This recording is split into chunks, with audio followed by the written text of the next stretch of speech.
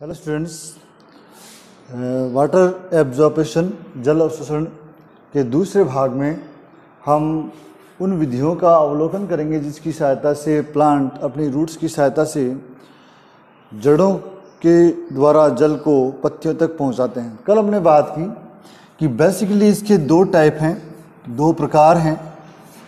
उनमें पहला जो है, वो है पैसिव या inactive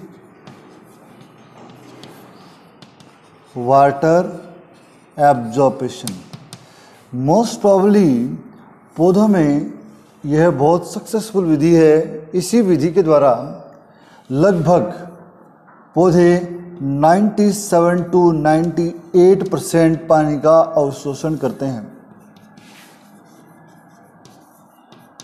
इसका मूलभूत कारण यह है कि इसमें ऊर्जा का लॉस नहीं होता, ये ऊर्जा बिना खर्च किए, ऊर्जा की हानि नहीं है यहाँ पर। दूसरा, इसका जो सतह है, या ये कहें कि इंडक्शन है, वह है पादप की पत्तियाँ, पादप की पत्तियाँ जो ऊपरी सतह है, वही एक प्रकार से प्रेरण का कार्य करती है इंडक्शन देती है, जिसकी वजह से ऐसा होता है। और तीसरा महत्वपूर्ण कि ये अकॉर्डिंग टू नीड है। अकॉर्डिंग टू नीड का मतलब होता है कि पौधों को जब जल की आवश्यकता होती है, तब ये ज़्यादा सक्रियता से काम करता है और जब जल की आवश्यकता नहीं होती है, तब इसकी सक्रियता भी कम हो जाती है। इसके अंदर जो प्रेशर काम करता है या जो मेन पुल है, वह है transpiration pull transpiration pull basically transpiration pull क्या है, उसको हम अभी समझेंगे। तो पौधों में, लगभग सभी प्रकार के पौधों में, खासतौर पर बड़े प्लांट्स में, ये सक्सेसिव विधि के रूप में या सक्सेसफुल विधि के रूप में स्टडी की जाती है। देखते हैं ये विधि क्या है। इसको समझने का प्रयास करते हैं। हमने लास्ट जो टॉपिक्स हैं ऑस्मोसिस उनके अंदर सभी प्रकार की दाबों का अध्ययन किया है। अब हमें उन सभी दाबों की यहाँ पर आवश्यकता होगी। मान लेते हैं कि ये एक टॉप लीफ है, जो सबसे ऊपर की ओर है। हमने टॉप लीफ का नाम इसलिए लिया क्योंकि सूर्य का जो प्रकाश है, वो इसी पर गिरता है। इसका जो संबंध है, वो जाइलम और फ्लोएम के द्वारा पौधे के जाइलम और फ्लोएम के साथ है। और ये भाग जो है वो जड़ों से कनेक्टेड है, जड़ों से संबंधित हैं।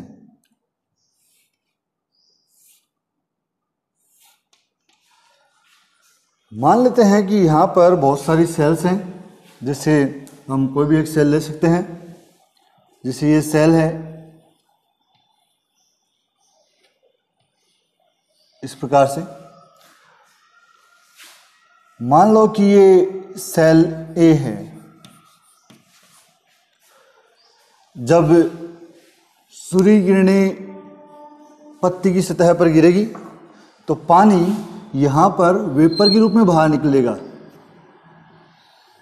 वाष्प के रूप में। जिसको हम सामान्य रूप से ट्रांसपिरेशन कहते हैं। ट्रांसपिरेशन ये एक अलग टॉपिक है, जिसके बारे में हम डिटेल से बात करेंगे। जब किसी सेल के अंदर सेल ए जिसके द्वारा जल की हानि हुई तो हम ये कह सकते हैं कि जो सेल ए है, उससे जब पानी बाहर निकल गया वाटर बाहर निकल गया तो इस सेल की कंसंट्रेशन क्या हो गई? इंक्रीज हो गई। कंसंट्रेशन इंक्रीज होने का मतलब क्या हो गया कि इस सेल की ओपी बढ़ गई।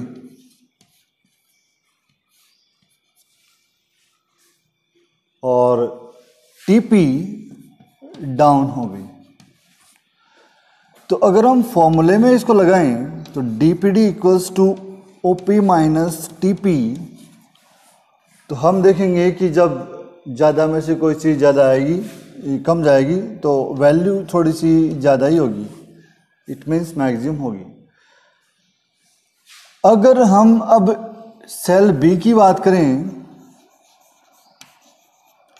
तो क्या है? सेल बी के बारे में बात करते हैं। सेल बी फ़िलहाल पूर्ण रूप से टर्जिड है। टर्जिड का मतलब हो गया पूर्ण, फुली हुई है।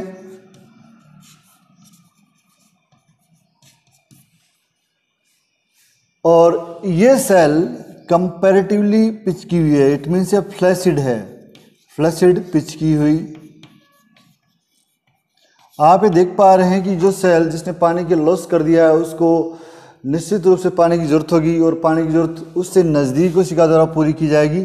It means cell B cell A को वाटर प्रदान करेगी. ये हम टर्जिडिटी और फ्लशिड सेल के आधार पर समझते हैं। अब इसी को आप फॉर्मूले में ले लीजिए। अभी ये सेल टर्जिड है तो इसका डीपीडी क्या हो जाएगा? ओपी इसकी तुलना में ज़्यादा है माइनस टीपी थोड़ा सा कम। हम जानते हैं कि डीपीडी का जो मेन फॉर्मूला है, उसके अंदर मोमेंट ऑफ़ सॉल्यूशन क्या है? Low DPD to high DPD ये वाला मास्टर फॉर्मूला हमें ध्यान में रखना होगा। इस सेल का डीपीडी कम है और उस सेल का डीपीडी ज़्यादा है तो पानी यहाँ से वहाँ तक जाएगा। सेम फॉर्मूला सेल सी के लिए भी लग जाएगा। सेल सी जो कि ये है, इसमें भी वही स्थिति रहेगी। अब इस सेल का जब पानी निकलेगा तो ये ए वाली दिशा में आ जाएगी। और इसके नीचे जो सेल है, वो बी वाली दिशा में होगी। तो जो कंपैरिजन हम ए और बी में कर रहे हैं, वही कंपैरिजन हम बी और सी में करेंगे। तो वाटर मूवमेंट क्या हो जाएगी? ये हो जाएगी। इस प्रकार से हम देखते हैं कि सेल बी से ए में सी से बी में, और इस प्रकार क्रम से ये चेन शुरू हो जाएगी। चूँकि वाटर यहाँ है तो यही स्थिति, ये जाइलम है। जाइलम की मूवमेंट वाटर को इनके नज़दीक पहुँचाएगी ड्यू टू डीपीडी ग्रेडियंट और इसके अंदर जो सेल है जाइलम की जो सेल है, उनमें ये प्रेशर क्रम से आगे बढ़ता चला जाएगा और एक स्ट्रेंथ एक तनाव उत्पन्न हो जाएगा। जब लगातार खींचने की क्रिया आगे की ओर जाएगी तो यहाँ पर दो फोर्स और काम करेंगे। वो हमें ध्यान देना है वाटर मॉलिक्यूल की यहाँ पर एक चेन है, ये वाटर मॉलिक्यूल है, जल के कण है, जल के कण। तो ये आपस में चिपके रहेंगे तो इनके कणों के बीच में एक फोर्स जनरेट होगा, जिसे हम कोहेसिव या ससंजक बल कहते हैं। कोहेसिव फोर्स या ससंजक बल। साथ ही जो वाटर मॉलिक्यूल है, वो इन दीवारों के साथ भी एक फोर्स दर्शाएँगे। ये फोर्स जो है, वो है एडेसिव फोर्स आसंजक बल।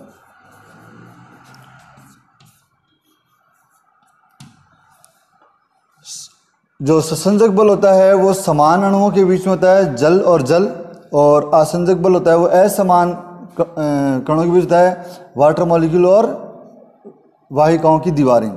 इस प्रकार से यहाँ पर कुल मिलाकर तीन फोर्स हो जाएँगे।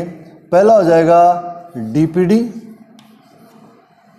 आप ओपी भी यूज़ कर सकते हैं समझने के लिए। प्लस में एडेसिव फोर्स और प्लस में कोहसिव फोर्स। ये तीनों फोर्स मिलकर आपस में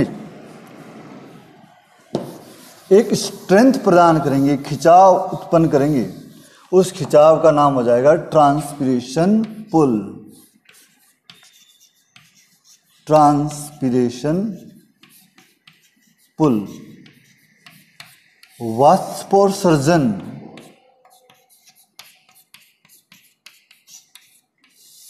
कर्षण बल। बड़े से बड़े पौधे में जल का प्रवाह जड़ों से लेकर पत्तियों तक इसी विधि द्वारा होता है। ये फोर्स इतना ताकतवर होता है कि 500 फुट तक आराम से पानी का प्रवाह हो सकता है। एक्टिव फोर्स इससे जस्ट उल्टा है। यहाँ पर किसी भी प्रकार की समस्या हो तो आप कमेंट बॉक्स में डाल सकते हैं, क्योंकि एग्ज़ाम पॉइंट ऑफ़ व्यू से ये ज़्यादा इम्पोर्टेंट है। यहाँ पर सभी सेल, अगर हम देखें, जल का जो प्रवाह है, वो वाहिकाओं, वेसल्स और ट्रैकेट से हो रहा है, और फोर्स भी, ट्रिगर प्रेशर, डीपीडी और एडेसिव कोसिव काम कर रहा है तो यहाँ पर एनर्जी रिक्वायरमेंट है ही नहीं। ऊर्जा की ज़रूरत है ही नहीं। इसीलिए बिना ऊर्जा खर्च किए पौधे जल का अवशोषण कर पाते हैं। साथ ही पौधों में जल की सबसे ज़्यादा जो डिमांड है वो होती है दोपहर के समय। अगर हम देखें तो तो दोपहर के समय ही वाष्प या ट्रांसपिरेशन जो है वो ज़्यादा होगा। इसीलिए फोर्स भी उसी समय ज़्यादा होगा। सुबह और शाम कंपैरेटिवली अगर हम देखें तो जल की डिमांड कम होती है, सूर्य का प्रकाश भी नहीं होता तो फोर्स भी कम हो जाएगा। तो सुबह और शाम पौधों को कम जल की ज़रूरत होती है, जबकि दोपहर के समय बहुत ज़्यादा। तो ये इस बात को भी एक्सप्लेन करता है कि पौधों को जब ज़रूरत होती है, तब ये फोर्स क्या उस समस्या का समाधान करता है या नहीं करता है। तो ये काफ़ी इंपॉर्टेंट है, देखें। अब हम बात करते हैं सेकंड जो कि है एक्टिव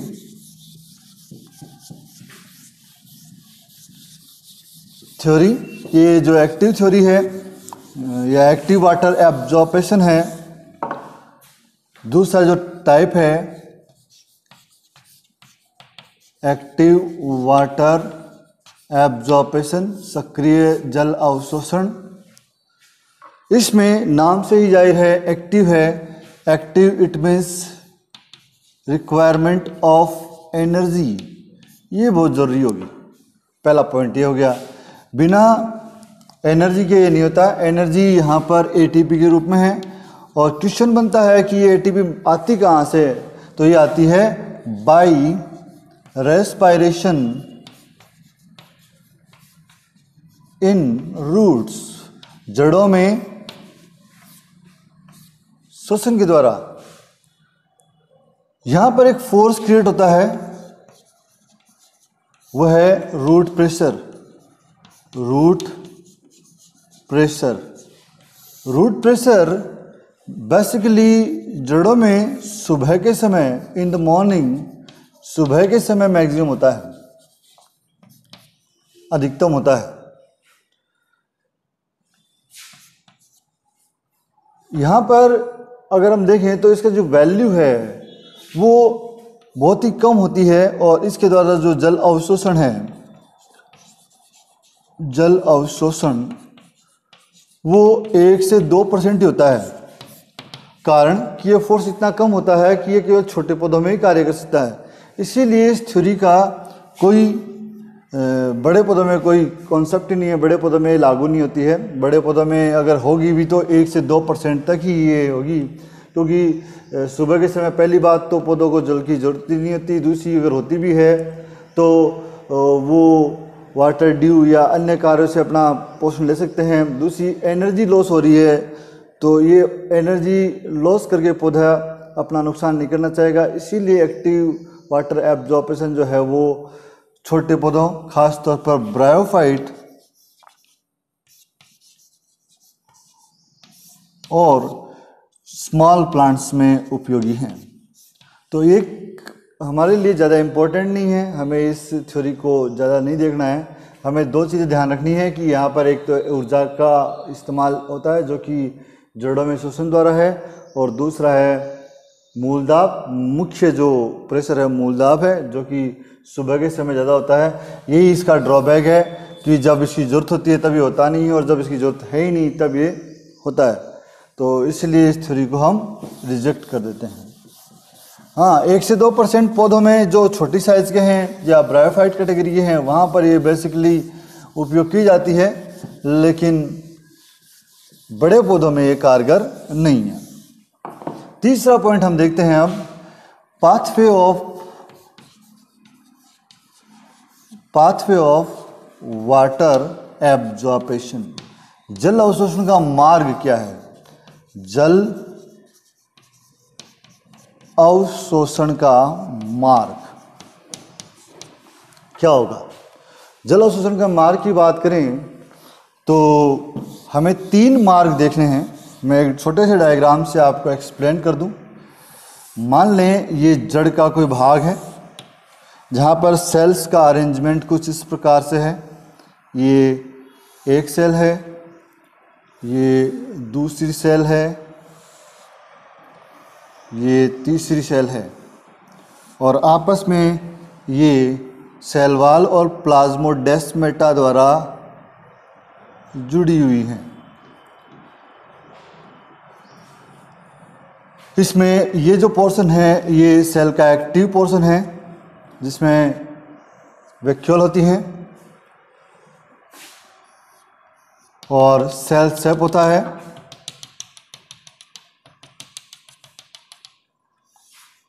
ये सेल सेप है।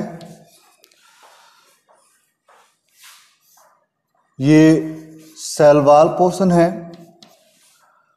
और ये वैक्यूल हैं।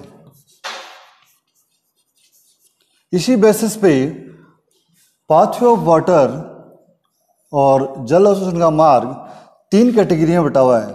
नंबर एक सिम्प्लास्ट नंबर दो एपोप्लास्ट और नंबर तीन vacuolar. Symplast basically active part है, सक्रिय भाग है। एपोप्लास्ट बेसिकली डेड रीजन है, और ये भी डेड रीजन ही मानेंगे। कैसे? अभी समझते हैं। सबसे पहले हम बात करते हैं नंबर एक सिम्प्लास्ट की, जो कि मोस्ट एक्टिव पार्ट है। तो हम यहाँ पर देखेंगे कि जो जल मूवमेंट है एक सेल से दूसरी की, वो यहाँ पर एक सेल के प्रोटोप्लाज्म से दूसरी सेल के प्रोटोप्लाज्म में होती हैं। यहाँ पर जो कनेक्शन का जो कार्य है, वो एक सेल से दूसरी सेल में प्लाज्मोडेस्मेटा द्वारा किया जाता है। बेसिकली ये सब कुछ ग्रेडियंट पे डिपेंड करता है। इस सेल को, इसकी तुलना में कितनी जल की ज़रूरत है, उसके अनुसार वाटर फ्लो होता है। तो यहाँ पर इस कार्य को करने के लिए जो कि सिम्प्लास्ट है सिम्प्लास्ट वाटर मूवमेंट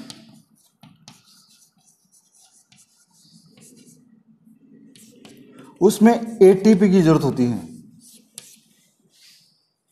ऊर्जा की ज़रूरत होती है। और ये हमेशा सेल टू सेल होता है। नंबर दो हम बात कर रहे हैं एपोप्लास्ट एपोप्लास्ट जो है वो सेल वाल से सेल वाल होता है। Water movement from cell wall to cell wall ये नंबर दो है। इसको हम एपोप्लास्ट कहते हैं। एपोप्लास्ट और निर्जीव पाथवे और निर्जीव। बेसिकली इसमें देखा गया है कि जो वाटर फ्लो है वो डेड पार्ट से होता है सेलवाल कोशिका का डेड पार्ट है तो वहाँ से वाटर मूवमेंट जो होती है, वो एक भाग से दूसरे भाग में पहुँचती है। लेकिन इसका एक डिसएडवांटेज भी है। अगर हम देखें तो इसमें एंडोडर्मिस की जो सेल है एंडोडर्मिस की सेल में हम जानते हैं कि कैस्पेरियन बैंड पाए जाते हैं। कैस्पेरियन बैंड की वजह से वाटर एक जगह आकर रुक जाता है। इस कैस्पेरियन बैंड, जो कि एक बैरियर है तो वाटर कंडक्शन के लिए यहाँ पर एंडोडर्मिस मेम्ब्रेन कार्य करती हैं। एंडोडर्मिस मेम्ब्रेन के द्वारा water movement one cell to second cell होता है। इसे हम एंडोडर्मल मेम्ब्रेनल वाटर ट्रांसफ़र कहते हैं। तो एंडोडर्मल मेम्ब्रेनल वाटर ट्रांसपोरेशन एक प्रकार से एवोप्लास्ट का ही भाग है। तीसरे और लास्ट क्वेश्चन की अगर हम बात करें थर्ड एंड फाइनल तो हम देखेंगे कि वाटर मूवमेंट जो है, वो वैक्यूल टू वैक्यूल है। एक सेल के वैक्यूल से दूसरी सेल के वैक्यूल तक। लेकिन इसमें बीच में प्रोटोप्लाज्म भी पार्ट लेता है और प्लाज्मोडेस्मेटा भी भाग लेता है। तो हमें यहाँ पर ध्यान देना होगा कि जो थर्ड पार्ट है वैक्यूलर उसमें एटीपी की रिक्वायरमेंट होती है, ऊर्जा की ज़रूरत होती है। इसीलिए क्योंकि जो सेल है, वो प्रोटोप्लाज्म के बीच में है और जब प्रोटोप्लाज्म से वाटर वैक्यूल में आएगा और फिर वापस प्रोटोप्लाज्म जाएगा तो उसको आगे पहुँचने के लिए ऊर्जा की ज़रूरत पड़ती है। यहाँ पर बेसिकली ऑस्मेटिक प्रेशर थ्योरी कार्य करती हैं ओपी थ्योरी कार्य करती हैं। क्योंकि सेल के अंदर जब पानी का प्रवाह होगा तो वैक्यूल बढ़ जाए, फूल जाएगी और उसका ओपी गिर जाएगा। और जब पानी बाहर निकलेगा तो ओपी बढ़ जाएगा। ये बात हमने पहले ही बात कर ली तो बेसिक तीन मार्क हो गए इसके, सिम्प्लास्ट, एपोप्लास्ट और वैक्यूलर। हमें आज की क्लास में देखना है कि थ्योरी क्या है, जो हमने पढ़ी, साथ ही वाटर पाथवे क्या है। यदि इससे संबंधित कोई भी समस्या आपको आती हो तो आप कमेंट बॉक्स में डाल सकते हैं, और इससे पूर्व वीडियो को देखकर आप इसको कनेक्ट भी कर सकते हैं। तब तक के लिए धन्यवाद। Thank you